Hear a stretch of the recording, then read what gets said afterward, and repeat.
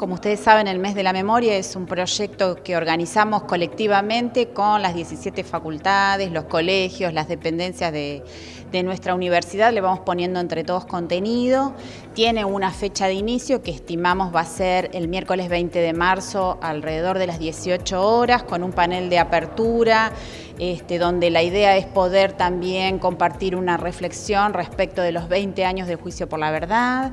Em, y poder estar allí también eh, haciendo un intercambio político, institucional y académico respecto de la importancia del ejercicio de la memoria, de los procesos de reparación, de verdad y de justicia para la universidad pública, el aporte de la producción de conocimientos a, este proceso de memoria y de reflexión del pasado reciente. Y bueno, ahí estamos pensando en invitar a algunas compañeras, em, una de ellas que nos ha confirmado ya su asistencia es la doctora Marta Bedio, que fue abogada y que tuvo una participación, que es abogada y tuvo una participación muy importante en el marco de los juicios. Em, la mm, profesora Emilce Moller, que es una graduada de nuestro bachillerato de Bellas Artes y bueno, una activa militante en la lucha por los derechos humanos y por la educación pública, que también nos parece importante poder eh, articular y reflexionar en torno de esa, de esa dimensión. Y la doctora Cristina Torti, que es una investigadora de nuestra eh, universidad, de la Facultad de Humanidades y Ciencias de la Educación, a quien hemos invitado y también generosamente va a estar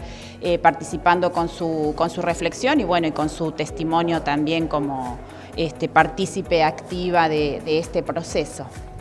Son todas actividades abiertas a la comunidad y obviamente esperamos que la comunidad asista y que pueda participar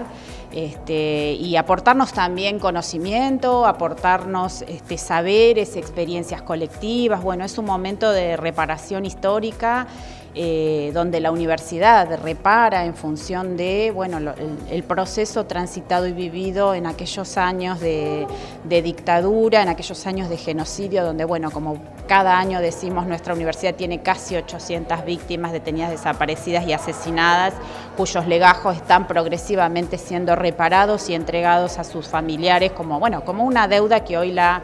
este, universidad pública repara en el marco también de las leyes nacionales reparatorias que rigen en nuestro país.